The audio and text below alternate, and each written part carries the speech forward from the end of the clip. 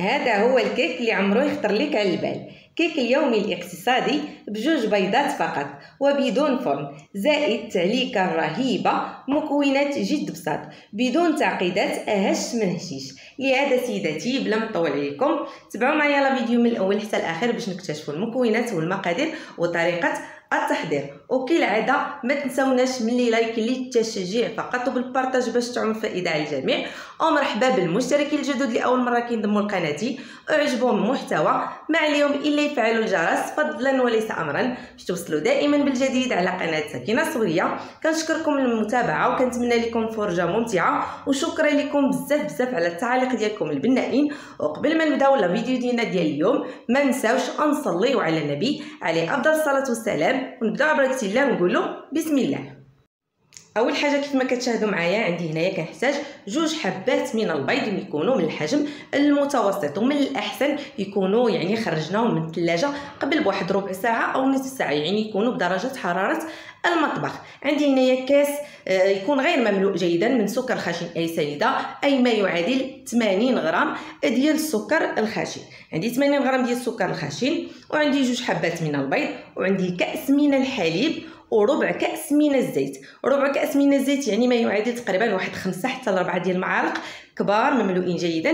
ديال الزيت النباتيه بالنسبة للحليب حتى هو من الأحسن ما يكونش في الثلاجه باش كتنجح معنا الكيك كيف ما كان نوع الكيك سواء ديال المقلاة أو ديال الفرن أو ديال الكوكوس. من الأحسن البيض والحليب أو السوائل ما يكونوش déjà باردين في الثلاجه عندي هنايا معلقة كبيرة من بودرة الكاكاو اللي كنديرها في الغربال. باش كنتخلص من داك التكتلات وعندي هنايا الدقيق. الدقيق غادي نعبر معكم بالمعالقه يعني بالمعلقة الكبيرة اللي كنشربوا بها الحساء أو لاصوب حيت بزاف كنقول لهم عبر الكأس العنبه يعني كأس ونص كيقول لك شنو هو كأس ديال العبر العنبه اليوم عبرت معكم بالمعلقة. كيف ما شاهدتوا معايا درت هنايا سبعة ديال المعالق كبار ديال الدقيق. درنا سبعة وعاد غنضيف الثامنة. يعني في المجموع عندي 8 ديال المعالق ديال الدقيق أي ما يعادل كأس ونص ديال الدقيق. حتى لجوج كيسان قل ربع ديال الدقيق الفرص والدقيق على حسب النوعية. ممكن تزيدوا ممكن تنقصوا أنا درت هنا 8 ديال المعالق كبار من الدقيق ودرت معلقة كبيرة بودره الكاكاو ثم ضفت هنايا شاسية وحدة من الخميرة ديال الحلويات من فئة 8 غرام. تنخلط الكل جيدا بالفوي كيف ما كتشاهدوا معايا. عملية راه سهلة جدا وبسيطة من أسهل ما يكون. كنمزج الكل خليط جيدا. ثم كناخذ الكوكوط ديالي. بالنسبة للناس اللي دائما كيديروا الكيك في الكوكوط تيقول لك إما تتلصق لينا أو ما كتنجحش معنا اليوم غنعطيكم التفاصيل ديال التفاصيل باش تنجح معكم مليار في المية. أول حاجة ما ندهنوش الكوكوط ديالنا بالزيت نهائيا أو بالزبدة النبات يعني الحيوانية. ندهنوها بالزبدة النباتية ديال العلب أو المارغرين ديال ديال التوريق ما ندهنوهاش بالزبدة الحيوانية. غير بالزبدة النباتية. كندهن الكوكوط ديالي جيدا ومن الأحسن إلا كان كانت الزبدة ديال التوريق يعني كانت هذيك اللي كتخلي لنا الكوكو ديالنا ما تتلصقش نهائيا. ثم كنديروا الطحين وكندردروا عليه الطحين جيدا وكنحذفوا البواقي ديال الدقيق. ثم كنفرغ الخليط ديالي ديال الكيك وكنسد على الكوكو ديالي بدون صفار يعني بلا ما كنوضع داك الصفارة كنسد عليها وكنديرها على النار اللي تكون للصفر بحال الشمعة وكندير كذلك واحد العازل. العازل يعني كندير مقلاة اللي كنديروا فيها البطبوط أو المسمن أو الرغيف أو داك العازل ديال اللي كنديروه على الطويجنات. كندير العازل وكنقص للصفر وكنسد الكوكو ديالي وكنحيد الصفارة ما كنديرش الصفارة كنسد على الكوكو ديالي وكنخليها لمدة ما بين 40 حتى ل 45 دقيقة. ما بين 40 ل 45 دقيقة كتكون الكيكة ديالي حاضرة ناضرة واجدة. وأنتم راه غادي تشموا واحد الرائحة ديال الكيك كأنها كطيب تماما في الفرن. غنخليها تقريبا من 40 حتى ل 45 دقيقة وكتوجد. في هذه الأثناء أنا ما كنضيعش الوقت. كنخلي الكيك ديالي كطيب ثم كنجيب هنايا كأس أي ما يعادل واحد 100 غرام ديال السكر الخشن أي سنيده 100 غرام ديال السكر الخشن أي ما يعادل كأس من عبر العنبة يكون مملوء جيدا من السكر سنيده وكنوضعو في واحد المقلاة أو واحد الكاسرول اللي تكون غير لاصقة وكنوضعو على نار مهيلة.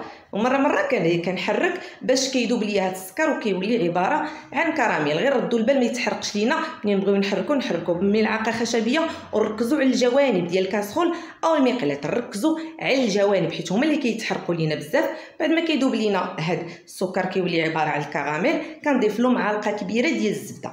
معلقة كبيرة ديال الزبدة وكنبقى نحرك على نار مهيلة. دائما النار تكون مهيلة بحال الشميعة. باش ما يتحرق ليناش أكيد السكر وكذلك تعطينا داك الكراميل واحد الذوق فيه المرورة. بعد ما كنحرك داك الزبدة عندي هنايا واحد ياغورت بالفلون كراميل. ياغورت ديال الفلون كراميل كنوضعو كله هو وكنحرك الكل جيدا باش كنحصل على واحد الكراميل رائع جدا. ممكن تعوضوا هاد الفلون كراميل بالشوكولاته البيضاء وتقريبا واحد 20 قطعة صغيرة ديال الشوكولاتة البيضاء. ولكم نتوما اختيار. كيف ما كتشاهدوا معايا كنحرك الكل جيدا وهذا الكراميل ممكن نستعملوه حتى في الصابلي أو في تزيين لي غاتو أي حاجة ممكن نستعملوا هذا الكراميل هذا. بعد ما كنحضر الكراميل كنوضعو جانبا ونمشي نشوف الكيكة ديالي بعد ما داز تقريبا 45 دقيقة بالتمام والكمال. كنطفي عليها النار. ثم كنخليها ترتاح واحد شوية عاد كنحل الكوكوط بطبيعة الحال. كيف ما كتشاهدوا معايا كتجي مفشفشة وهشيشة. حتى واحد ما غيصدق أنها الكيكة ديال الكوكوت ها هي ما لصقاتش راه كلشي قدام عينيكم. كتجي مهوية وطالعه رغم ان درنا فيها غير جوج بيضات وخماره وحدة وإلا بغيتو تضاعفوا المقادير ضاعفوهم باش كتجي طالعة. يعني كالكيك العادي اللي كنديرو في الفرن غير أنا بغيتها بهذا السمك هذا تماما لأنني باقا غادي ندير ليها واحد الحشوة الرهيبه الخطيره ديال الكراميل بطبيعة الحال. كيف ما كتشاهدوا معايا هذه الكيك ديالي كتجي من أروع ما يكون. كتجي آه، يعني خفيفة خفيفة للغاية. كنوضعها في واحد إطار دائري ثم كنجيب واحد أي أداة اللي غادي نشكل بها ثقب معلقة أو آه، أعواد ديال الكيغدون أو أي حاجة. أنا خديت هنا هذه ديك الملعقة اللي كنوزعوا بها العسل على البطبوط أو على البغرير. كان كان خديتها قلبتها على الجهة الأخرى. وكنشكل هاد الثقوب هادو كيف ما كتشاهدوا معايا كتتقب لينا يعني بسهولة حيت هشيشه ملي تكونوا كتقبوها غير حاولوا راه كتبقى تشقق لأنها خفيفة وهشيشة للغاية. كندير هنايا كان آه، ثقوب متعددة وحدة حدا وحدة وحدة حدا وحدة كيف ما كتشاهدوا معايا. وكنحاول نوسعهم واحد شوية لأنني غادي نحشيهم بالكراميل اللي حضرنا. كيف ما كتشاهدوا معايا كنحشي يعني ثقب بثقب ما كنوزعش الكل على السطح باش ما يتشربش ليا في السطح. عندي الغرض أنا نحشي هاد الثقوب بالكراميل. كيف ما كتشاهدوا معايا كنحشي داك الثقوب ثم كنرجع لهم هما النيت لأن داك الثقب اللي كنحشي فيه الكراميل كيرجع يشرب ليا مع داك الكيك. لهذا هذا الكيك كيجينا معلك وهشيش وملبي بالكراميل. كنحشي يعني ماشي حتى للقمة كنحشي غير النصف غير النصف تقريبا وكنحبس. ملي كنكمل هاد الكراميل ديالي كنحتفظ بواحد شوية التزيين وكندوز باش نحضر الكريمة ديالي ساهله جدا وبسيطة. وهاد الكريمة كتبقى لكم اختيارية ممكن ديروا هاد الكريمة أو أي نوع الكريمه مفضل عندكم. عندي هنايا ثلاثة ديال المعالق كبار من الكريم باتيسري معلقة كبيرة من الكاكاو بودرة الكاكاو ثلاثة المعالق كبار من السكر. ونصف لتر من الحليب. كنحرك الكل جيدا وكنوضعو على نار اللي تكون مهيلة مع التحريك المستمر حتى كنحصل على واحد النوع ديال الكريمة ديال الكريم باتيسري بذوق الشوكولاته العادية. يعني كنحرك وكنوضعو على نار مهيلة. بعد ما كيوجد ليا هاد الكريمة كنضيف ليها واحد ربعة ديال القطع ديال الشوكولاتة أو بديل الشوكولاتة باش كتزيد تعطيني نكهة الشوكولاتة. هذه كتبقى مرحلة اختيارية. ممكن نضيفو الشوكولاته ممكن لا. كنحاول ندوبها ما حد داك الكريمة باقا عندي سخونة.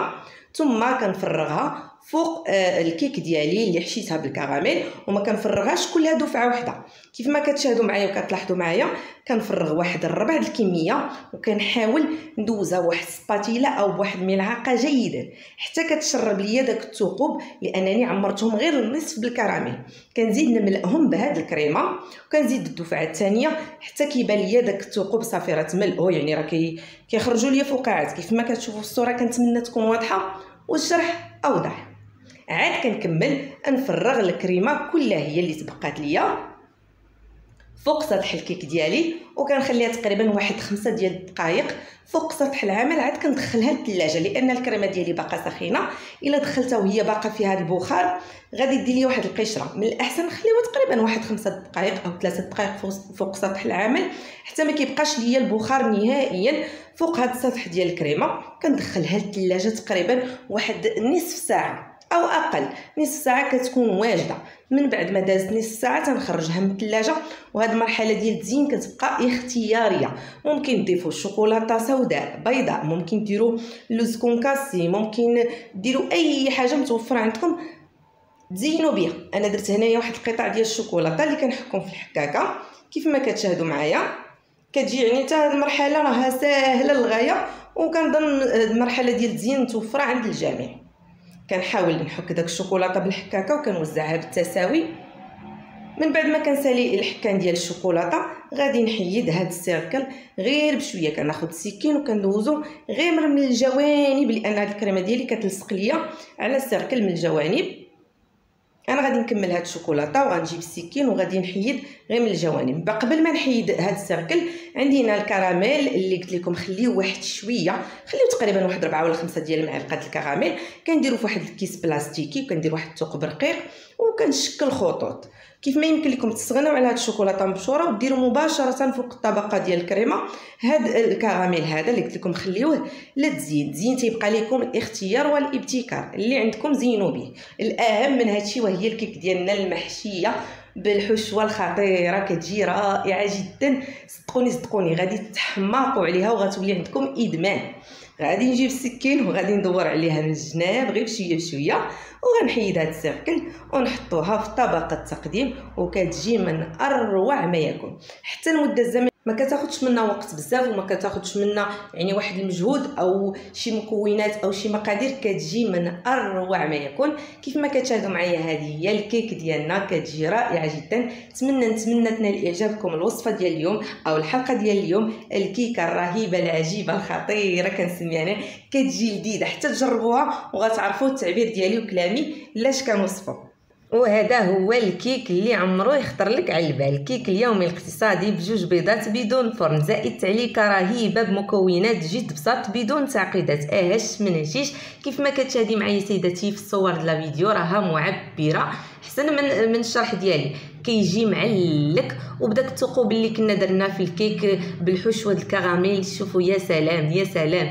كتجي رائعة جدا جدا والكيك هشيشه بدون فرن يعني غير في الكوكوت من اليوم ما تبقاوش تخافوا من الكيك الكوكوت نهائيا. نتمنى ينال اعجابكم الفيديو ديال اليوم وما تنساوش تدعمونا ب les likes للتشجيع فقط وبال partage باش تعم فائدة للجميع.